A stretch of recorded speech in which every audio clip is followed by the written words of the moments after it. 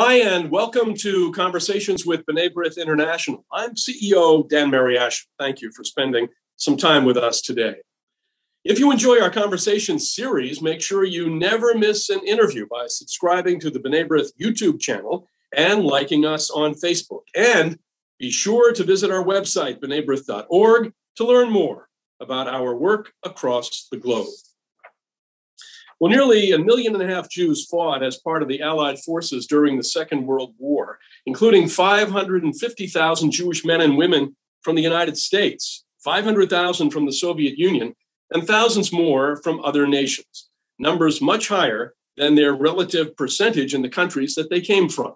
So, why has their heroism and their service gone unnoticed? That question is what the new Chaim Herzog Museum of the Jewish Soldier in World War II in Israel intends to explore. The museum will share stories of heroism alongside the Holocaust and shed light on an important but neglected chapter in the history of the Jewish people.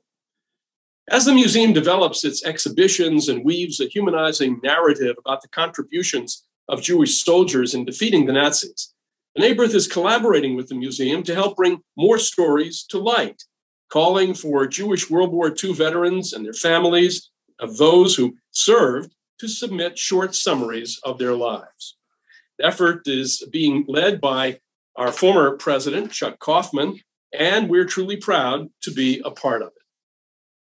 As we continue this initiative, we are grateful to have the museum's director, Brigadier General retired Zvi Kan-Tor, join us now for a special conversation. And he and I will discuss the institution's long awaited opening, the crucial role Jewish soldiers played in defeating the Nazis, as well as the establishment of the State of Israel, and the importance of recognizing and honoring their contributions. Zvi, thank you so much for joining us. It's an honor to speak with you. Thank you, Dan. Actually, you say the whole story. Well, there's more to tell, and that's why you're here. So let's start with your perspective. Uh, what is the museum's mission, and why is it named after Chaim Herzog, the much beloved former president of the state of Israel? Well, what you just mentioned, actually, the, the most of the people don't know about it. For us, the Second World War is the one world, Holocaust, and that's the way, unfortunately, that we educated ourselves. We are not going to harm this uh, issue, of course, but we would like to say or to tell the other side of the Jewish people. The side that people came and, and, and, and did something against these aggressive Nazis. They volunteered, they joined, they fought, they did something to defeat this uh, beast. And uh, because of the events, because of the time, we didn't talk about it. And we educate ourselves as a miserable, as a victims, as a nothing but those who, who did something. And suddenly the, the state of Israel raised up and uh, you ask yourself, okay, where you came, uh, where the knowledge to fight against the Arabs during the independence war came? Yes, we had a, a good uh, underground, the Palmach, the Etzel, the Haganah, the Lehi, but the knowledge how to, to operate army, and I mean battalions, brigade, tanks, artillery, air force, navy. You don't have it in uh, in the underground. Someone brought it, and those people never mentioned in our history, and we know nothing about it. And we hope that through this uh, very unique museum that we are just uh, in, in, the last steps to, to finish, in Latrun will tell the story and tell the story very nicely, very clear to the young generation. It will be a different museum that we use in other places. And uh, people who people will learn the, this issue uh, much better than, uh, than what happened today. Why Chaim Herzog? Chaim Herzog uh, was the president, the sixth president of Israel, but in his background, he was uh, an officer, intelligence officer in the British Army, major. And uh, after the war, he, of course, came to Israel and joined the IDF and was one of the first intelligence officers in the IDF. Uh, actually, he he was the intelligence officer in the Battle of Latrun in 1948. Later on, the the chief of the intelligence, uh, the military intelligence in Israel, and we found it very, very clear that after the the request of the family uh, to call the museum after his name. Well, it's certainly uh, a great honor and certainly a well deserved honor for uh, a man who uh, served his country in so many different ways. Um, and uh, especially as president, as ambassador in the United Nations, a historian, an author uh, of, of, books about Jewish history. And it certainly is a, is a great honor and, and, and well deserved. Um, how did you get involved in this project? How did you become the director of the museum. And do you have a, a personal connection, perhaps, to uh, to some of those who actually did serve uh, during uh, World War II? Actually, I have no connection to this uh, issue. Uh, at the beginning, when uh, one of the old veterans came to me and started telling me about the, the idea of building a museum in Latrun, I, I, well, for me, it was like the other uh, the other many in, in my generation. For us, uh, the Second World War is it is Holocaust, and and those veterans uh, fought for their own country, and that's it. And from his story, uh, I learned that I know nothing actually about the Jewish people in the Second World War. I know nothing about those who left their family and came after four or five years of, of fighting and found that there, there, there is no family. There's nothing. And from story to story, I, I actually uh, strengthen my uh, belief that uh, our museum, our site, the internet site, is like a memorial for those people, for the private family, the, the, the community, and the state. And, and uh, suddenly, uh, families call me again and again and say, well, you add uh, a father to the family, you add a, uncle to the family, that we know nothing about him before. And for us, uh, they will, will remain 24 years old and while they lost their life. Yes, they fought for their own country, but they fought also as a Jewish people. And that's, as you mentioned before, the, the, the percentage of the volunteers from the Jewish community is much higher than any other community wherever whether it is in Canada or South Africa or Australia or the States or the Russian countries. And uh, we are talking about one million and a half. One million and a half Jewish people fought. It is unbelievable. Only from, as I told you before, uh, we are talking about the underground, but those who volunteers from Eretz Israel were much higher than uh, the number was uh, much higher than those who, who participated in the in the underground. And again, nobody talked about it. No, I think this is a this is a very important point um, when I think about it because in the United States, the war broke out in uh, for us it was uh, December 7, 1941. So at that time uh, in the United States, there there were probably under uh, five million Jews, uh, and to think that uh, almost a, a tenth or about a tenth of the Jewish population actually actually served, and so and so for the Soviet Union as well, where there were probably about five million Jews, more or less, and it was the same the same uh, percentage. So this is a it's a great story, and of course the other countries that you mentioned, and it's a great story of service uh, and of of, um, of participating in uh, this um, this effort of the Allies uh, to to defeat uh, the Nazis. Now, I want to ask you uh, about the museum. It's being built in Latrun on the main road between Tel Aviv and Jerusalem. Uh, why did you choose that location? In other countries, this will be must be uh, a mission of the of the government, a mission of the of the people. In Israel or in, among the Jewish people, unfortunately, it was not came from the the, the headquarter of the of the of the people. Let's say the government. It came from a private uh, initiative. As I told you, this old man who came to us, he was, what I said to us, we are the members of Yad Lashirion. Yad Lashirion is the, the memorial site of the Armor Corps that made a, a site in Latrun.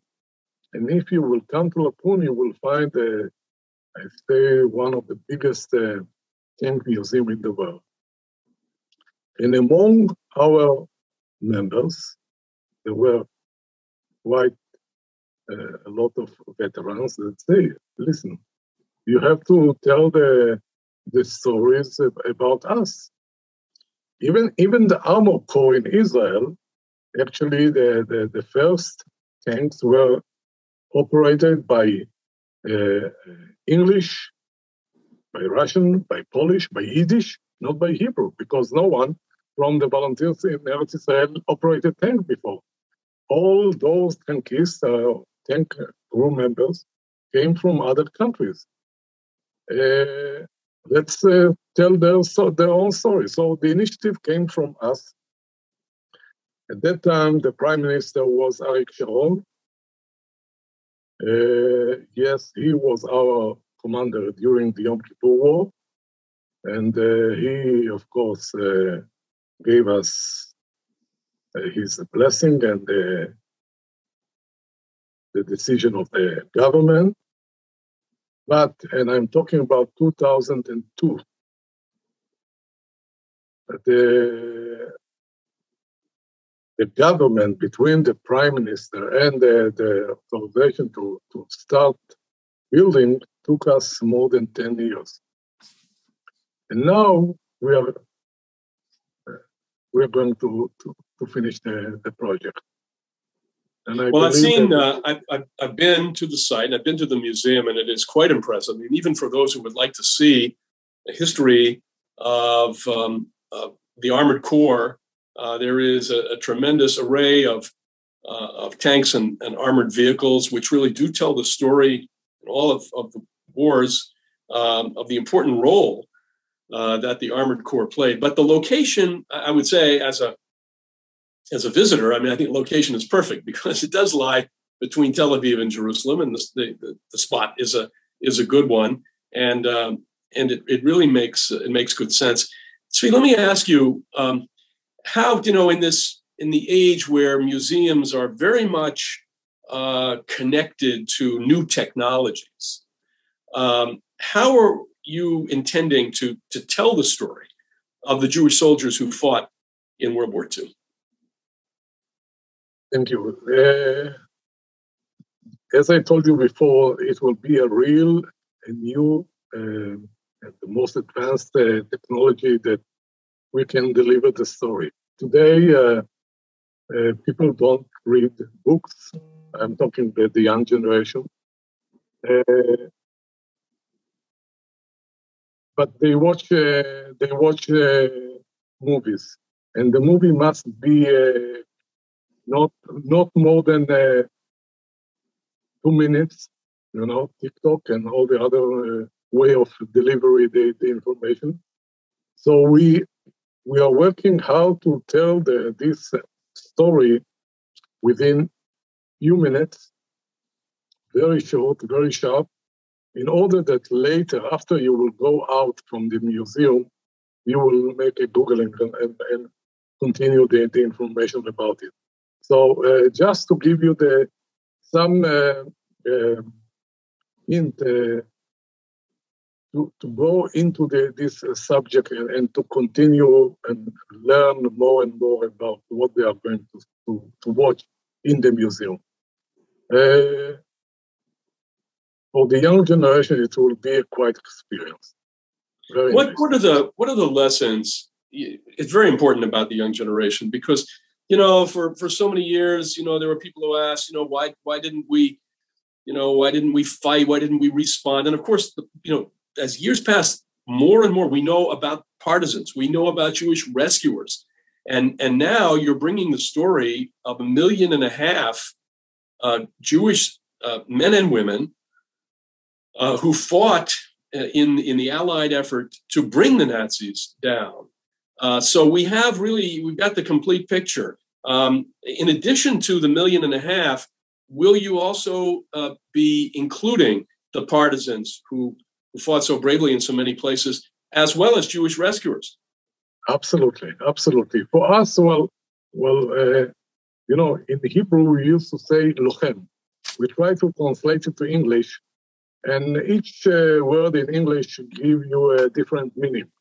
But we are talking about fighters all over the, the rainbow, uh, which mean as a civilian in the underground, in the partisans, in uh, in uniform, in uh, regular armies, in reserve armies, uh, wherever. Each one who took something and and do something is a fighter, is a soldier. Soldier with a uniform or soldier without uniform. So the name in Hebrew is Lochem, but the name in English is soldier, but actually we, we mean to the all kind of soldiers, with or without uniform. How do you um, see diaspora Jews uh, being involved in the museum on an ongoing basis, not just as visitors, and we hope, of course, many people will come and, and visit, um, because um, it is the younger generations um, who are going to keep these stories alive and, and, and perpetuate the, the memory. Um, so, how do you how do you see we Jews who are living in the diaspora um, really connected to the museum? I, I would say that this is will be the, the first museum or any institute in Israel that say, well, the diaspora is part of us, part of the Jewish people. There is no Israel and the diaspora. We are saying that we are all uh, the, the Jewish people together.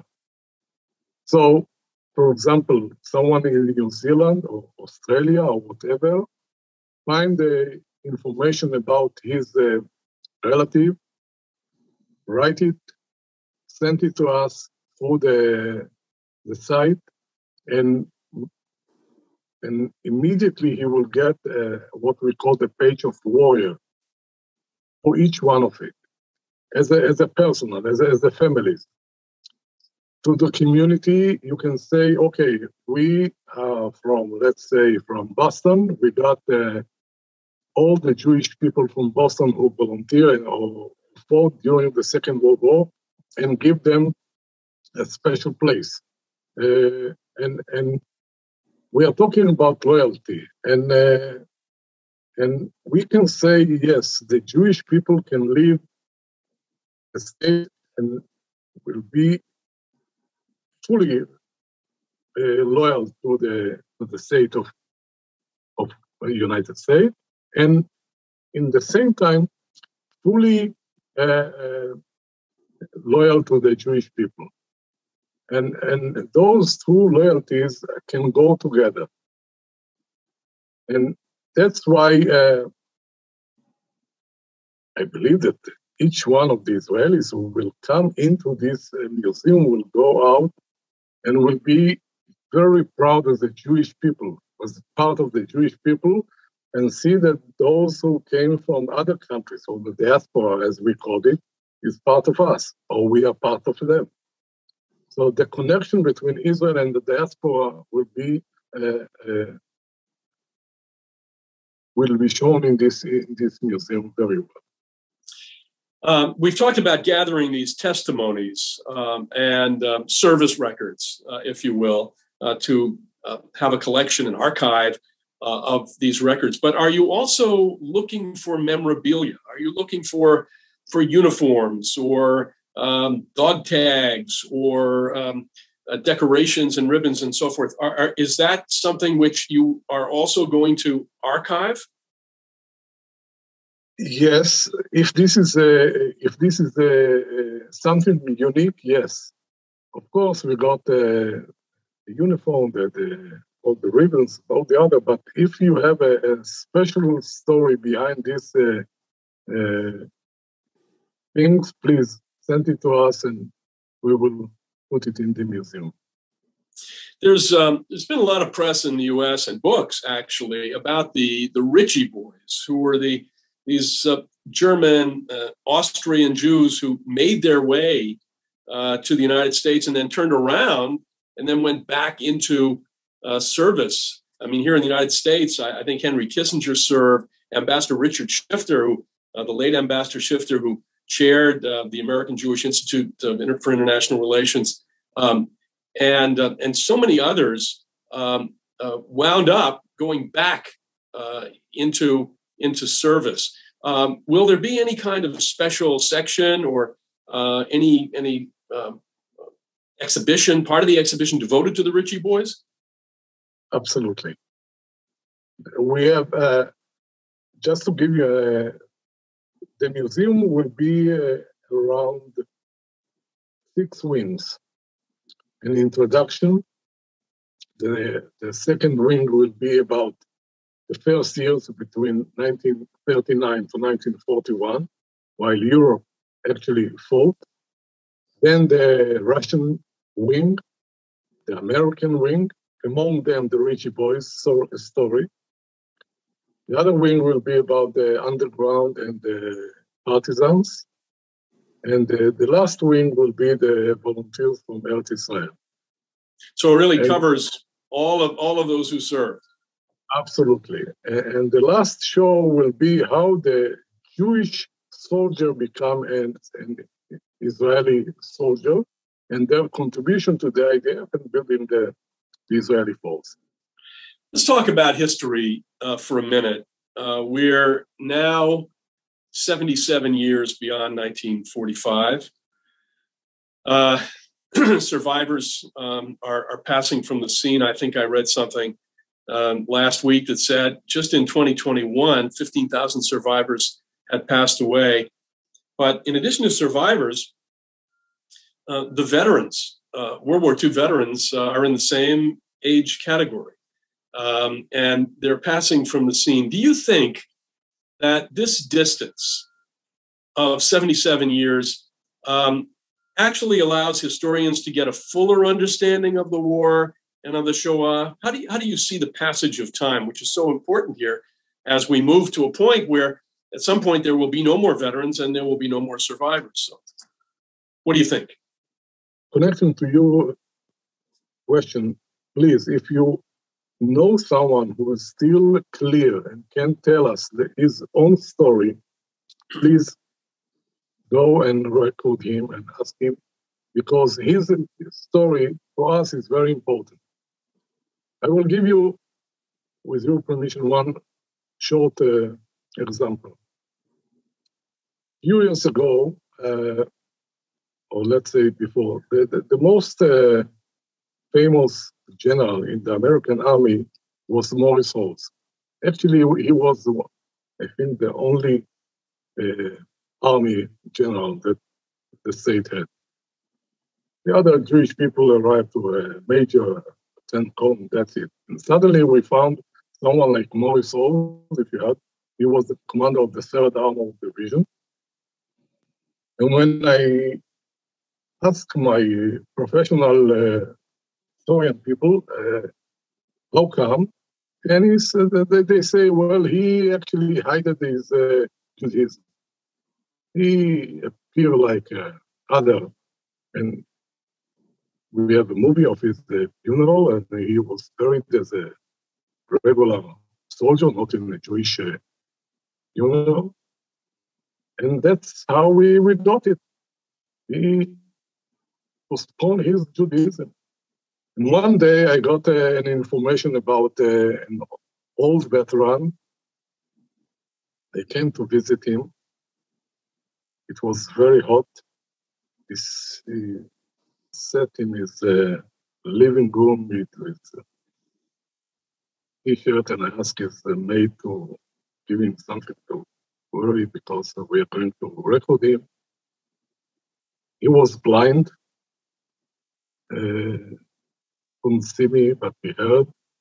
His wife uh, passed away uh, a year before. His, uh, his elder uh, son passed away five years before. His grandchild uh, passed away in the what we call the helicopter disaster. In, if you heard about it, when we lost more than 70 soldiers. And suddenly I came to him and asked him about his history. And he stopped asking me, uh, well, I start asking him a question. Meanwhile, the, the, the, man who came with the camera uh, prepared, or he was not ready. And uh, this man started telling me his story, and he was uh, he was born in uh, Berlin uh, after the the Kristallnacht. He made Aliyah uh, while the war started in 1939. He joined the British Army, went to the Pioneer Corps, uh, became a prisoner of war in a Greek. All the disaster with the British Army when they left uh, more than 1,500 uh, Jewish uh, soldiers from Eretz Israel in, in Crete. And they were sent as a prisoner of war to uh, Lamsdorf in uh, Germany. Today is uh, Poland. And this man, after three years, uh, as he told me, he became tired uh, to be a prisoner of war and find the uniform of the Hitlerjugend and, and start walking by foot from Lamsdorf, Krakow, Poland, to uh, Normandy because they are the, the American uh, landed in Europe. And after a couple of months uh, with broken legs, he was captured by, uh, as told me, two black guys that brought him to his, their commander and the commander was uh, uh, Major General Morris Rose. And how did he investigate this uh, uh, man? In Yiddish. I said, what? Yiddish? How come? Because he is supposed to hide his uh, Judaism. And he said, no, no, no, no. He was a real proud Jewish person. I said, oops. And meanwhile, the, the man with the camera was uh, ready, and uh, and, uh, and I asked him to repeat his story, and he repeated very. It was very. He hardly talked at the time, and when we arrived to Moisos, I asked him to, to talk in front of the camera. And two weeks after, his son called me. His son is a professor in Hadassah Ein Kerem, a hospital in Jerusalem, and say, hey, my father passed away. So I came to the Shiva. And the second answer, or the, the second uh, question that he asked me, Zika, why did you ask my father twice about the Morris Rose, and did you ask didn't ask him about being POW or whatever. And I told him, back to the, he said, I, I got some stories about the, the, the, the POW camps or the life over there. But the only man in the world that changed the, the, the situation of Morris Rose from just different men to a very proud Jewish was that guy and it by mistake. So I don't know what kind of information we can collect by those people all over the world that will go and and and interview their own uh, relatives or friends or whatever. No, but I'll tell you, see, you know, the really there are so many stories. We know that, it's just a matter of, of getting out and gathering this material. I'm pleased that our former president uh, Chuck Kaufman has uh, gone out to do this, uh, to bring in stories. And in my own family, for example, we uh, had a cousin passed away several years ago in his 90s, uh, who was in the uh, the Soviet army, fought in the Battle of Kursk, was was decorated. Um, ultimately came to Israel, was a well-known mathematician. Um, and and the story that his story has been carefully preserved by the family. Most of them are now in Israel, and I intend to make sure that you get uh, the information about my cousin Yasha Chvalas, um, because th- this is just one of, of, of thousands, and and it's uh, it's a great story, and every one of these stories is a little bit different. And some of them may have served in the same units, some of them may have been in the same battles, but everybody really has has their own story to tell. And in that in that regard, in that context, let me ask you: Does the museum expect to engage in research and publication? Uh, because you're going to gather this information. Uh, historians are going to, I'm sure, um, uh, you know, make themselves available to the museum to, to write about these issues. What do you envision in terms of research uh, and publication? Just a, uh, just a moment before, you mentioned uh, the Battle of Kursk. I, am not sure that all of our listeners will know what does it mean, uh, the, the, Battle of Kursk. But in the Russian wing, we are going to make a huge diorama about the Battle of Kursk.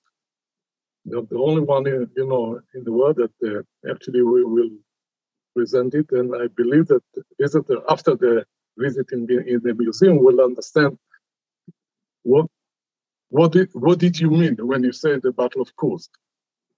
Uh, about the research, we are going to build a, a very uh, big uh, archive and, and uh, information center that will collect and will let the, all the researchers, uh, students, uh, whatever, to come and, and get the information. We got a lot of interviews with those uh, veterans, not enough, but uh, a lot of uh, material that you can make a lot of researchers about this subject that may say something not uh, nicely so much. You know, in every university in Israel, you got a, a cathedra about uh, the Holocaust. None of them got even one lesson about the, the, the heroism, about the fighters. So by this museum, actually, we would like to, to change the situation and give a lot of options to those young researchers to, to, to develop this uh, subject. So the big question is, uh, when uh, do you expect the museum uh, to open? Uh, when I visited with our former president uh, Kaufman uh, last summer, uh, the museum was still kind of working its way through, and we could see where these rooms and the six different exhibitions would, would be held. What do you uh, what do you see as a possible uh, opening date? The opening date will be around uh, June. Exactly the time we let the leaders of those countries, and I believe that Yalta meeting will be held in Latroun 2022 because we invited uh, President Biden, we invited the, the Prime Minister Johnson, and we invited the President Putin. And let's hope that three of them will uh, repeat uh, the famous story from Yalta in Latroun 2022. The famous picture. Uh, yeah. What What are you looking for? The last question what are you looking forward to once the museum opens to the public? How would how would you like to see it received? Uh, first of all, I hope that every student in Israel will visit our museum. I hope that every soldier will visit our, our museum. Uh, and it will be part of the of the education system in Israel. Uh, it will be uh, you, you talk about the location. It is a beautiful uh, uh, space uh, come and uh, to make events not only around this the Jewish people, but the Jewish soldier, but any other events that will be over, over there, and it will, it will, it will be a real one of the centers of in Israel. When you say I, I will be in the museum in Latrun, people will know about it. Well, it's going to tell um, a fantastic story, a story of courage, of resilience. the Jewish population in the world uh, in 1939 uh, was um, uh, was small relative to as it is today, and of course, it's our proportion today is much smaller because of what happened during the Shoah. Nevertheless, uh, the the fact that um, these men and women rose to the occasion, fought uh, with with great um, uh, bravery uh, to defeat the Nazis um, as part of the Allied effort is a terrific story, and we're so pleased that there was going to be a place in Israel uh, where they can learn. Everyone can learn more about it. So check out jwmww2.org to learn more about the Chaim Herzog Museum of the Jewish Soldier in World War II and to stay updated on its progress. Zvi, thank you for joining me and talking about the much anticipated museum to honor the Jewish men and women who helped to defeat the Nazis. It's been a real pleasure, and we look forward uh, to visiting as soon as we can. Thank you very much, Dan, and you're more than welcome. Well, thanks again to Brigadier General Zvi Kan-Tor for speaking with us today about the upcoming Chaim Herzog Museum of the Jewish Soldier in World War II. And of course, to all of our viewers, thank you for tuning in. Now, if you enjoyed this conversation, make sure you never miss a program by subscribing to the B'nai B'rith YouTube channel, liking us on Facebook, and following us on Twitter and on Instagram. And be sure to visit our website, b'naibrith.org, to learn more about our important work. For my guest, Zvi Kan-Tor, and for B'nai B'rith, I'm Dan Mariaschin. See you again soon.